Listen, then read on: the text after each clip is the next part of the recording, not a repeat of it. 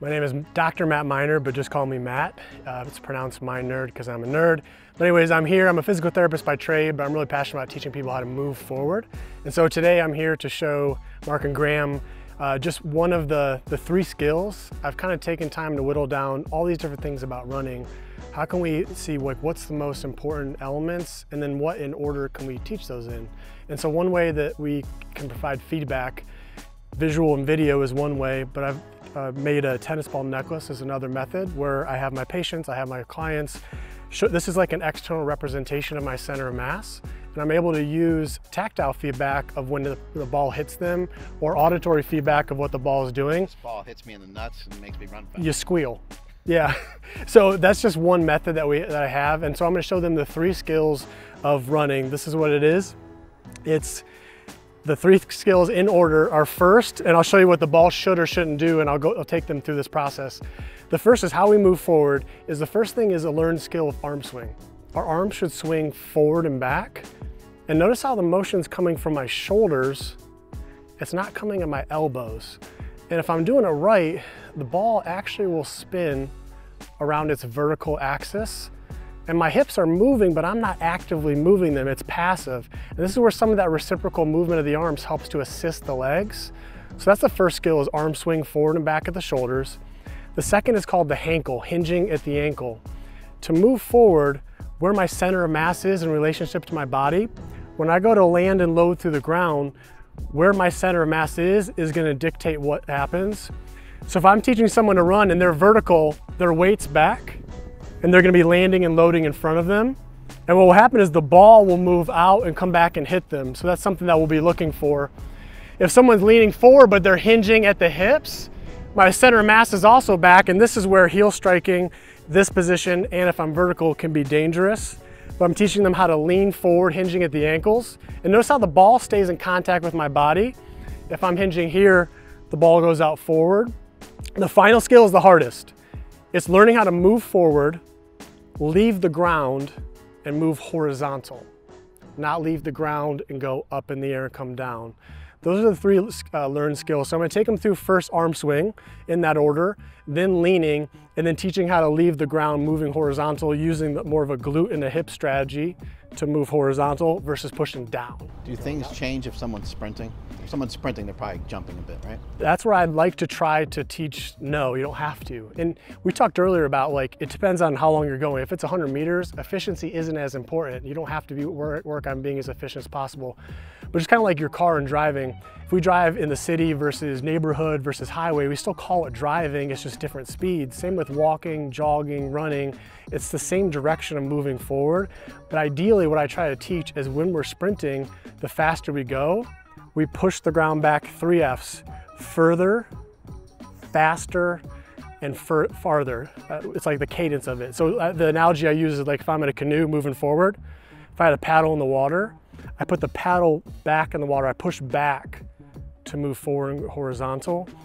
The leg, ideally, we're trying to mainly push straight back to the ground. If we're pushing down through the ground, it's not that it's wrong, it just doesn't have to be efficient on a level surface. If you're doing hills, you have to use your calves and your quads to propel, but separating the, the running into the propulsion piece of moving your body forward versus the landing and the loading, trying to separate it out. So ideally, no matter what speed you're running, the overall mechanics should be similar, but we're just doing things at an amplified level, pushing back further, faster, more force, um, and just leaning further in addition to the speed. All right, so let's do this. We're gonna go, we'll be on this line, and how I like to teach skills, I think of it like I'm transferring this information to you, I'm transferring the skills. There's different steps to it. Think of these as reps. First rep, you're just demonstrating. You're just watching, you're not doing it yet. I always pick my target eye level because that's going to be another form of visual feedback. I imagine like I'm holding onto a handsaw and then I'm moving forward and back, forward and back. And see how I'm doing it right? The ball is just vertically moving around its axis. I'm not moving my body, I'm not moving my shoulders. I'm here. Let me shake it out. Watch again. Eyes level. Here forward and back. Shake it out. One more, and then we're gonna sync up and do it together. Boom, boom, But if you notice really just my upper arm, that's what's doing the movement. When we walk, same story, the arms, we just bend the elbows up to make it more mass moment of inertia, but the motion is still coming forward and back from my shoulders. So once you guys stand here with me, and so we're gonna use mirror neurons, we're gonna sync it up together. So kind of look at me. First, establish eye level at something at that truck that's not gonna move. And then imagine like you're holding on to a handsaw. Yep. And so it's kind of like here is I'm making sure that I'm not shrugging up using my traps at all. I'm kind of lightly putting my shoulder blades in my back pockets. I'll say, imagine your shoulder blades are precious. Don't let anybody steal them. Keep them in your back pockets. And now it's just like we're lightly grabbing that handsaw, we're moving forward and back, forward and back. But watch, watch me, see what you guys are doing. This is not wrong, but you're still having an element of that up and down to it. So I talk about axing going up and down versus sawing. So from here, trying to just have this pure forward and back, forward and back, forward and back. And see if you can get into it a little more so the ball actually moves. Oh, sorry, let's actually adjust that because ideally you want this ball to be close to the center of mass. So I usually have people measure it to around belly button height to give us that feedback. I go a little bit lower with it and I always get with the big breasted women, big chested men, doesn't matter, it's still, we can still do it. We can still make it happen.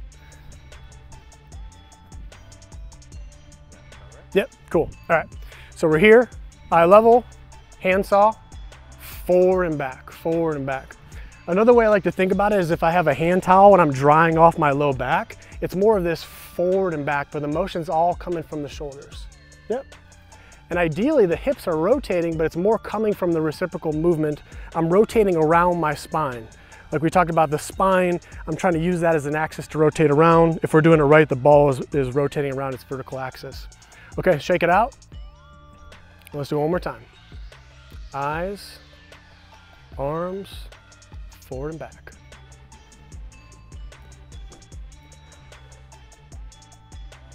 Good. All right, now give me three reps where I'm just watching you guys. First two will have the tennis ball necklace on and then we'll take it off to see if you can mimic the mechanics. So I'm going to give it to me from start to finish, please.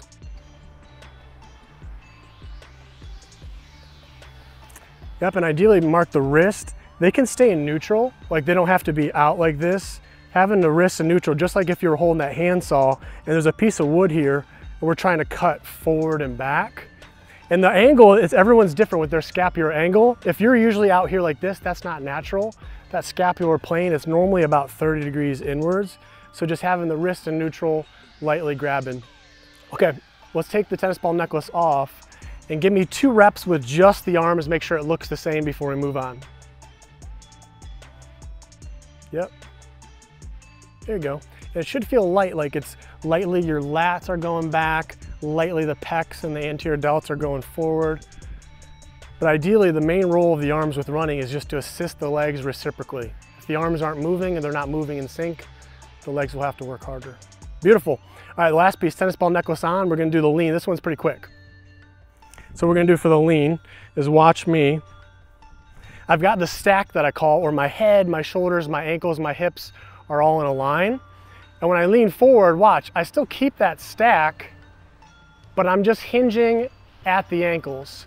And the reason why what I'm doing here is I'm just taking my center of mass and I'm just lightly shifting my center of mass forward to bias forward. And this is where when it comes to setting up the landing, I don't teach the landing part. I only teach the lean because we always talk about it's always about landing and loading as close to underneath you as possible. And watch when I lean forward, my feet are underneath me more. So by keeping this slight forward lean, it allows me to have more of this uh, continuous movement. So let's try that. We're gonna build arms to 90, forward and back. And then now we're gonna add that slight lean. And notice how when you lean forward, it's like your body weight is going from your heels to your forefoot, but keep your heels down. Yep, he's got it. So you see how his heels are down, you'll feel your calves working and fighting that urge to let your shoulders go out in front of your hips. So we're here, lean, yep. And then add that little arm swing just to keep it. Because now what happens, now we have this angle of forward If I keep going forward and back like this, now that I'm leaned, I don't wanna add that upwards bit at all. So see how you're going reverting back to the up and down more? Have a little more forward and back. Think about that drying off your low back. Beautiful. All right, we got the first two skills down. Arm swing, forward and back, the lean. Here's what it looks like when it's all together. Mm -hmm.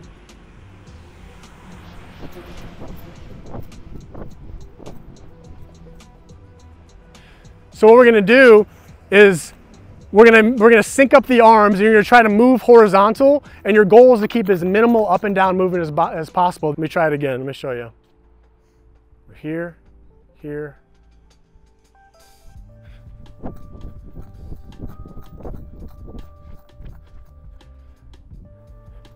Let's just go into it. I wanted you to do a longer span and I wanted you to just do your own thing. I wanted you to goal is to try to keep the ball moving as minimal as possible. Yep.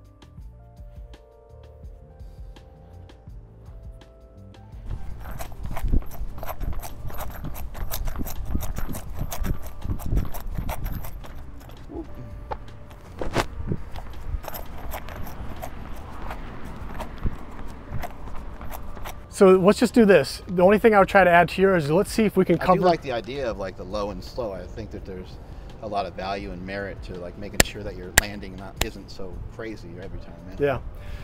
Let's see if we can try to have you run a little bit faster than that and see what happens. Because you're doing all right. You're just going very light. You could just yeah. get more of the gliding, more of the pushing back, right. moving more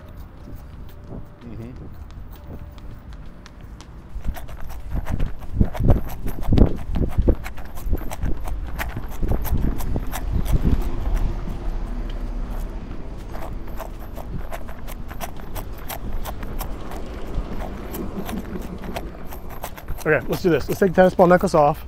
Try one more thing. So do this with me. This is the tush push drill. So what you're gonna do is you're gonna work on first this left side where you're extending your hip. We're using the glute. That's what's pushing back. Try that with me. Let's do it. Fingertips on the glutes just to feel the engagement. You're pushing back. Yep, feel the muscles push out, your fingertips out.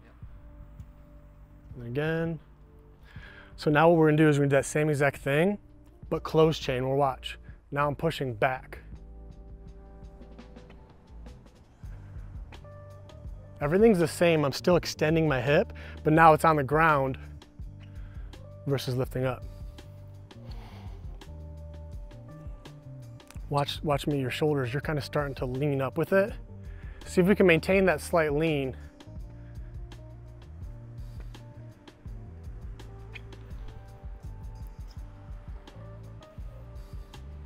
Couple more, you're still kind of, there you go. Try to kind of lean into it a little more, lean into me. There, trying to avoid that leaning up with it. Yet if I'm gonna flex my glute, though, I kind of want to, you know, like a... Yep, just keeping it more stable. Kind of what I'm used to doing, I think. And in my mind, I'm pushing the ground backwards.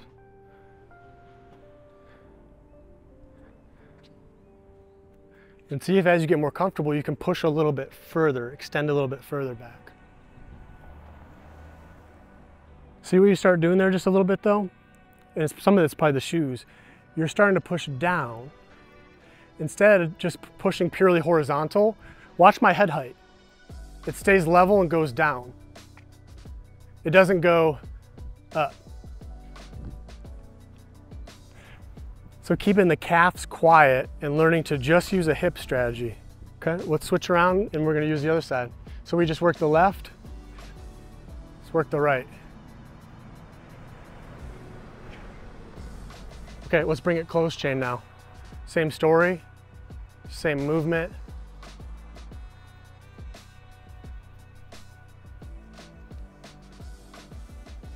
Yep, and try to look up a little more high now, yep. It helps to maintain your posture. So this is your engine. This is what propels you. Every time that you're trying to move your body forward, this is it. This is that paddle in the water, pushing the water backwards to move you forward and learning how to do this instead of pushing down and going up. Next level before we take it to actually moving, Everything's the same, but now I'm gonna try to push so far back that I'm gonna actually leave the ground. So I'm here.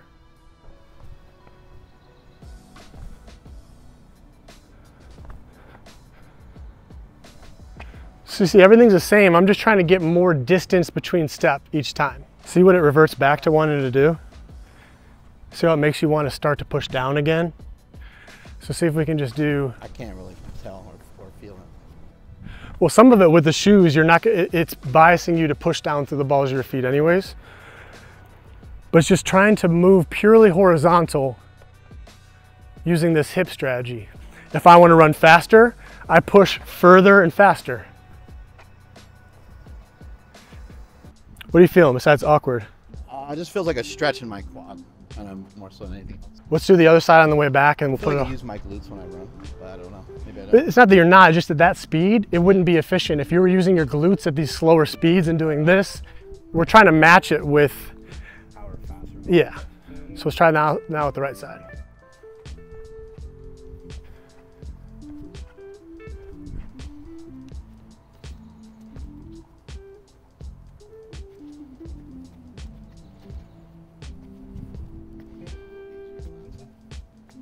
Sometimes if people have a mobility restriction of their hips, of their quads, if you're feeling pulling, sometimes that can limit you from doing this quite as much. Yeah, it's weird because like I don't know. I guess I would say like more of a passive flex of my glute than it is like a real flex. Because I don't think Well, the propulsion part, the ground part, the glute does hip extension. So that's that and your hamstrings is what's responsible for this. We're so used to thinking about the landing, and that piece is, is different. I found if folk, you can only focus on one thing. And by focusing on leaving the ground and on the ground instead of the landing, we just get more bang for your buck. Let's see if now you can do that same. Sometimes I've seen you don't even have to think about it. Just us doing this and pre-program your glutes to work,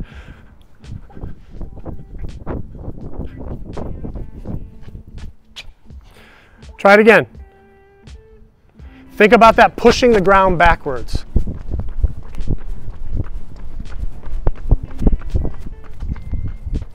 you know my my my biggest challenge is that I don't have a wide stride. You know, so Yeah, well, the, you shouldn't, you shouldn't, short. you're talking about the width or the length. The length, the length of my stride Yeah. That's normal. At at your speeds, it wouldn't be normal to have a longer Right, step. But even when I try to go faster, I'm not. You were doing it there. No, I know. I'm just like uh, it's it's a challenging part of running for me for now. Before I interject any more nonsense, let's just go, let's go down to that second line all the way down there. And I'm not gonna talk to you first, I'm gonna try to figure it out and then I'll see what you're doing. Ready? Okay.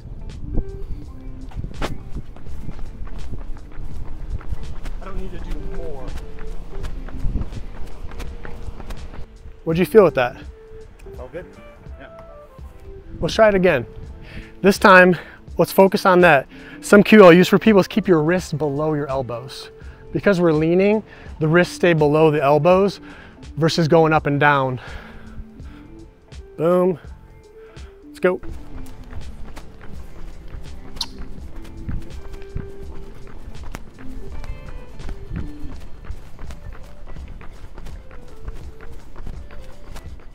Think about drying off your low back with that towel.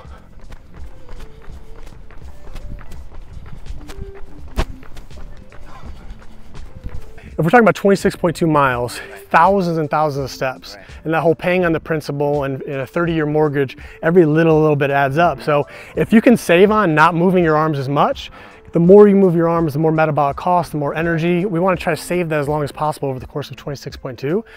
So the only things I really noticed, you're doing the stride part pretty well. It's just you tend to not lean as much. You tend to kind of, just like we saw with this, tend to be a little more focused on the leaning up.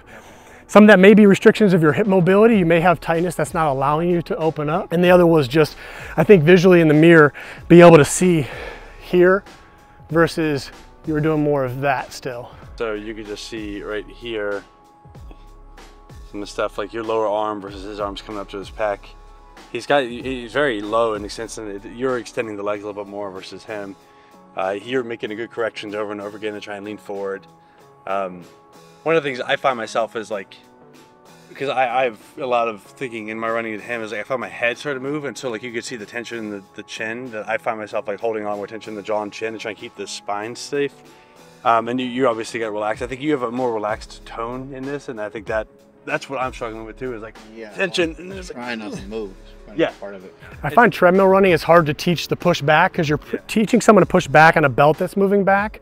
But for efficiency, keeping people to get uh, auditory feedback of how loud it sounds when you're landing, to try to like, High up should my arm go, like just to. it's not as much about high, it's forward and back. And if you see me running at five miles per hour all the way up to 12, you'll see my arms be very low. And then as I go faster, my arm swing starts to increase matched with my legs. still and everything. If this was a 5K, it doesn't matter. Right. If this is even 10, it doesn't matter. But when the course of 26.2, that's where every teeny little bit of efficiency helps. But no, it, it- nothing I'd say about that is wrong. It could just be more efficient. Mm-hmm. Arms going forward and back, assisting the legs. Mm-hmm. If the arms are going up and down, it's really hard to not have the legs also going up and down. So its arms match the legs. But just as we know with any teaching someone to bench or some new skill, people are so taught and tense at first, and you're teaching them to only use the muscles that you need. So I try to be as relaxed as possible, only use a muscle if I'm trying to stabilize, propel, or control motion. So I think that's I think that's good. I think the only thing with you is just working on that arm swing, which would help a little bit. Um, and again, if it wasn't 26.2, I'd say it doesn't really matter. But you've been working on moving horizontal. You've been working about not picking your feet up. But hopefully putting connecting some more dots. When we were doing this drill, using the glutes to move you forward, see how close to the ground my foot stays? I don't need to pick it all the way up. And that's that whole paddle analogy where if I paddle and push the water back, I don't really need to pick the paddle all the way up out of the water each time. So by more gliding and skimming, and the faster I go, my foot will come up higher off the ground passively, but that's because I'm pushing further back. Yeah, I'm not actively doing it, it's passively happening because again, I could watch you run the sand and see the distance between your steps. I should know how fast you're going just based off of the distance between each step. What I'm mainly talking about is long distance running, the whole concept of paying on the principle, all your energy expenditure is going towards the movement of going forward. And so just trying to finding little areas that will take that away, the not leaning, the arm swing, and the going up is all. Yeah, yeah. Efficiency is the name of the game. I think there's a lot we agree on in our overall perspective, and I think the context of circumstances like this setting for a competition setting or a specific distance is like efficiencies. You would you want a car that goes over a longer distance. It's like you're gonna have a different set on the shocks for off-road versus this, and it's gonna be about you know cars don't go up and down for a reason. just like every car has a different fuel efficiency, miles per gallon, with training, you can change it. You can change to get more miles per gallon by being more efficient. So it's kind of the work on the training aspect, how to train to get faster, and then how do you move to not waste energy and how can you learn to not be so tense? And if you don't need it, get rid of it. Tension in my hands, my face, all movement is expensive, expenditure. And if I can just try to just pay on the principal, keep the interest as low as possible. There's a little bit less of a stride extension I have just at the sake of saving the impact on my heel, just from it feels better. Yeah. But it's still the same exact extended the hip, eyes forward, low arms. Like in terms of efficiency, these are the things. And what I found, this is just from the pandemic and obsessing and being crazy. Like I used to do and say all those things, things are not wrong about how shoes changes your perception, your proprioception, your heel, what's on your heel. But I found is it's more about your where your center of mass is versus your foot. Yeah. And so by having the lean, so if you lean forward and try to land on something other than your heel, it just kind of shortens it up some. Yeah. And shortening the stride can just, you have to take more steps Sure. to get I there. just think there's, I, I don't that that that is a correct statement. The variables which afford you that ability to make that correct statement, I would say, slightly adjust the.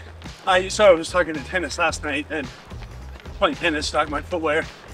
If you have shoes that have a half inch or you know 22, 25, 30 millimeter stack behind the heel, uh, I can extend my leg a little bit more, hit the heel, and get further in motion. So from a competition standpoint, again, that like makes sense. Yeah.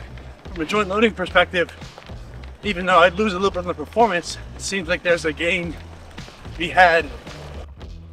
So you're saying like it will, it shortens up the stride in the front because if there's more of a heel, you're gonna actually hit the ground sooner. I can lean into that. Meaning, if I'm playing tennis and I want to reach and really reach out with my heel, I can do that Yeah. because the padding is there. Without the padding, I have to kind of back off to some of my intentional tissue.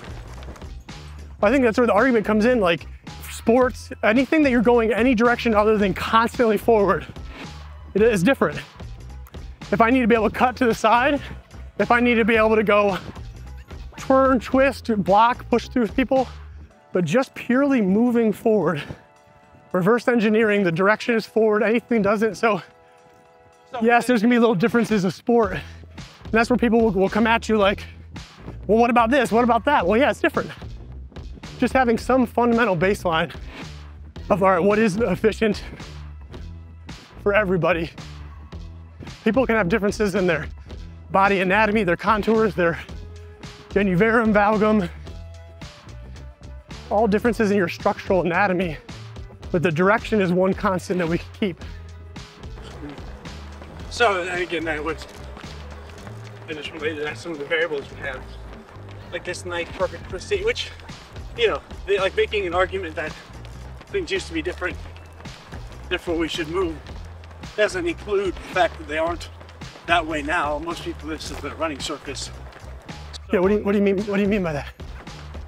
How many places like this, meaning paved, for seeing two-dimensional, hard, inorganic surfaces over long, straight periods of time for no reason other than moving in a consistent cadence with nothing in your hands. Yeah. No objective to get at, nothing for a visual or visual focus on, meaning running just to run on the road. My that's a thing is- modern thing. My thing is, if, yeah, So, but that doesn't necessitate meaning, well, just because that's modern doesn't mean that we shouldn't create. it's like at least having that as a baseline, just like some serves or some hits in tennis, you want to at least know the basic first, even though the basic isn't always how it is in real life. Yeah. Th- this is more and more real life for most people. And so teaching them how to move in that context makes a lot of sense.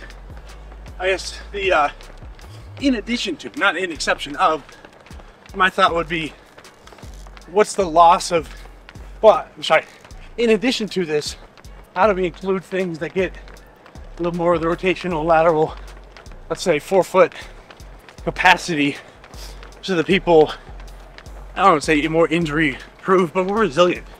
In a sense, not everyone just wants to be a runner. Even Right. if they want to be a runner, how can we get the tissue and everything to strength greater parts? So, And that's where sports specific, that's why it's important to have a different coach for each sport because it is going to be different. If I'm playing baseball, teaches them how to run the bases or baseball or go for a fly ball versus football, turf, cleats, not cleats, but at least having that foundation of what's what's the demand of the sport, reverse engineering and going from there. But yes, if I am playing a sport, tennis, I need to be able to stop myself quickly and break and switch directions. Then I'm gonna incorporate all the other stuff you guys do, plyometrics, all there's a million different ways to incorporate braking, jumping, plyos, because there are a lot of sports that need that. I think this is probably where I I take a little bit of uh, exception to the sport specific aspect because I think about I don't particularly love like I don't think of it as like you're a human. All right, what what set of tissues and movements do I need? I, it makes perfect sense, and I don't know if it's right or wrong. I doubt it is a right or wrong binary, but I think the base movement. I think of the human movement capacity. Within that, I have so it's either like there's my daily movement, and then I have a stem out to another bubble that's tennis movements. Yeah. Running movements. I think of it as human. Within that human, like the body has organs that are within it. It's like, what are the set of movements I need to have to be a human? And within that, I can group together these variables, but they're my life trains me to be like Yeah, because to your point, your tissues don't know the difference of what sport you're playing. You know, like your tissues, you're playing tennis, if you're playing soccer, like your tissues are your tissues. They accept the same force, they contract the same way. Yeah. I think I should have my hat, and then potentially there's aspects. But like if I have a, like, if my running training makes me worse at tennis or makes me worse at basketball, then to me, this is my perspective, Yeah. to me, there's something, and it doesn't necessarily mean that there's not things that are highlighted, like music, like if I play music that has different cadences or a movie that had, like movies, a horror movie or comedy, they still have the same actors, people, there's still different things, but you emphasize different notes. But that doesn't mean just because the horror, the, the script doesn't matter, just because the comedy, the music doesn't matter. So that's kind of how I think about it is like, it's, I, I look and say the horizontal perspective, the low and efficient, the efficiency, horizontal eye, like, you know, basically all about efficiency and then developing the forward lean, the getting the muscles, like the muscles, efficiency and optimized positions. That's like, that's beautiful. Everything you're saying, I absolutely love that. And so I look and say, do are there pieces that then if I get, take, take this to an extreme does that prevent me from having other things? And again this is just a hypothesis I'm working on. Um, so then that sorry I just realized that to wrap that up to make it useful for you it's those things matter perfectly. And then I think okay well so then the extension and the heel striking well would that be a beneficial thing? Am I missing something by doing that as opposed to it's like okay well then how do I can I heel strike without shoes? Like you can it's somewhat uncomfortable. And say do I lose little tiny adjustments to my body over thousands thousands of reps? I don't know. Those are things that's how I think about and perceive it. And again though if you know is it optimal to run a marathon in these or an ultra marathon? Probably not. You know it's a whole different thing a very specific cadence of that. Everything you're saying too is like the 5k you can get away with a lot. 22 Yeah. so then that's when it looks at the sport specific. And so then I think there's different exceptions to be made. So I think there's layers on it. And I think like just like our mind, like a computer, there's different operating systems, there's different programs. If we're doing our job right, I don't want him to think about anything while he's running. In order to get to that point where it's automated, it's subconscious, we have to build it and give him feedback, take it away so he doesn't become reliant on it. Just him getting that visual feedback to know his brain, oh, this wasn't right. Until he sees that, we're not gonna break that movement pattern. We're just gonna press play. So it's just like taking all the individual constructs of that movement breaking them down, working on them in isolation, and then can we work on them then in order? I want to learn on arm swing, then lean versus push. So just kind of learning like what order, what variables. But yeah, I think if it's sports, like you might take your sport of is there a lateral component that totally changes the game versus side to side. Is it a component of wearing gear, holding something? So it's just all it is just having what is I'm trying to speak of the foundational, just perfect scenario flat surface running forward, because then I can teach how to go up or down a hill based off of that. If they know how to run on a flat, we know if I'm running uphill, I just lean forward more and turn up the tush versus going downhill, turn off the tush and allow the momentum to treat it as an active recovery. So yeah, I think all this stuff, when we think about movement like programming, standard operating procedures, that's what I'm trying to do is just have like an IKEA do it yourself step by step to all movement. Standing leaning and how can i get it automated to the point where you don't think where you don't think about it. And there'll be some people that just want to pay someone to put their desk together but some people are like i want to try to learn on my own and do it. So for those small percentage of individuals that are very self-sufficient and don't need a lot of feedback then i want that at least be out there for them but I want to have other people, other providers, other coaches, other physical therapists that at least have this in their tool case in addition to all the other factors, the injury, so they can then tailor it to the person in front of them. The IKEA is a perfect analogy because there is something like I'm thinking like where there there's a line in terms of like obviously there's slight different perspective and worldview we see in terms of these things. It's like okay, the functionality to an extreme in some sense. Like okay, I'm reaching. It's like I would say I'm not as concerned about the functionally, logistically, like the numbers make sense. If I can get my stride an inch further, then over the span of 10,000 feet, that's Uh, 100 steps shorter, relatively Yeah. speaking, right? That makes sense from a logical perspective. Just like an IKEA's desk makes sense from a logical perspective. It's you, it's cost effective. You can put it together. You can teach them how to do it. I say in that last bit of logical leap, I think the arc gets missed a little. The same way, like I don't necessarily need to be a craftsman to make a desk myself, but there's something to be that's lost when I can just take hardboard and stick a thing in it. It's not a story. It's something like that. So in the same way, if I would think lateral, I'm obviously not moving lateral by tennis as a lateral with a rotation in a coil. So in the same way, if I think it's so logistical, it's just lateral and then forward, I think like everything you're saying makes so much perfect sense. There's like a line that I would say 10% of the effectiveness of this I don't care about because that comes at a sacrifice for the greater whole in a sense. Now, that doesn't mean that someone that learns to run like that for a marathon wouldn't get faster numbers. I look at it and say, is that last 10% specifically, and this is where I think we're talking the same thing, but there's a nuance trying to like pull this apart for people is like, the way I would perceive it is that the last 10% I would get like, okay, if I wore a specific, if I wore shoes with more padding and then more cushion underneath, and that allowed me to stretch my stride two inches further, would I be able to run with less energy, more steps, or less steps, more less energy, and faster time? Yes, because that's like the same get a car that has one inch wider. It's like that's good. If to me that throws off some other aspect of my performance, then I'd say, okay, let me back off just a little bit and say if I have to go from here to here, I'm okay with that because I perceive that to be like a, a larger thing working. That's just I, I don't think that's a right or wrong in the context of everything you just said is perfectly correct. I, yeah, for me, just coming from it like performance versus rehabilitation, injury. Like as 10 years as a physical therapist, my main hat is it's not that I don't care about performance, I care about you being safe and not getting injured. So Yeah. like everything falls back to that foundation of I'm not really super concerned about performance. I Yeah. want efficiency, which efficiency comes with usually more performance if they're more efficient. But like seeing all the injuries and starting to combine and correlate Achilles issues, calf issues, knee issues, shin, is this a loading issue? Then when we're talking about what do I focus on, does it make sense for this person? You just start to see it start to like connect the dots more, make Yeah, a little bit more sense. But from sense. an injury standpoint, that's what's been rewarding for me the last couple of years is I really don't, I just like helping people. I don't like running that much. Yeah. I just really love helping people. And I know movement is medicine and that's where people need that outlet. And there's nothing more humane than just moving your body forward. So that's what it's all about. But yes, are there all little details here and there? Absolutely. But from my standpoint, you can work those out. I just want you to be safe and not get injured. That's that's my number one, my non-negotiable is uh, safety. Makes sense.